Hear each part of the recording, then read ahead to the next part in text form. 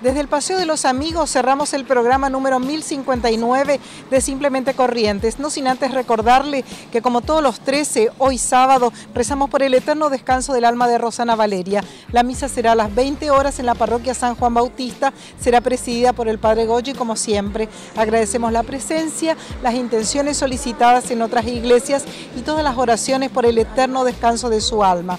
Hasta aquí llegamos, en siete días nos vemos, si así Dios lo dispone. Gracias como siempre por acompañarnos.